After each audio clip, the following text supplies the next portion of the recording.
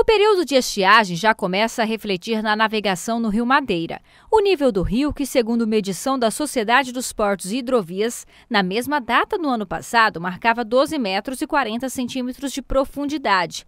Agora não chega à marca dos 5 metros, situação semelhante ao mesmo período de 2010, ano considerado difícil.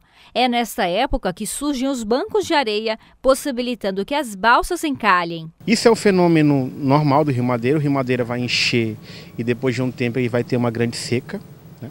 Isso não prejudica o abastecimento da cidade, mas claro que como falta dragagem no Rio Madeira e falta derrocagem no Rio Madeira, os riscos à navegação aumentam. Então as empresas elas têm que ser mais cautelosas na navegação nessa época do ano. Pelo porto organizado passam mensalmente em média 300 mil toneladas de carga, com produtos como adubos, soja, milho, açúcar e carnes refrigeradas. Por segurança, no período considerado crítico, que vai de julho a outubro, o transporte chega a ser reduzido pela metade.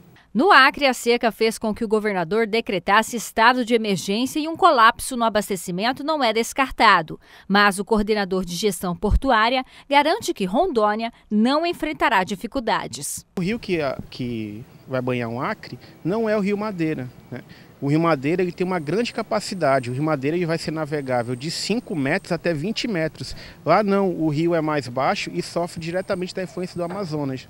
Não é o caso do, do Madeira aqui. As empresas que levam mercadorias, como alimentos, né, elas vão pegar e vão compensar essa queda na, na navegação nos meses de cheia, que vai de janeiro a junho. Já as empresas de combustível são as empresas que têm a melhor navegação do Rio Madeira, são as empresas que navegam com alta tecnologia. Claro que elas vão diminuir, mas vão ter que colocar mais balsa para não haver desabastecimento, né?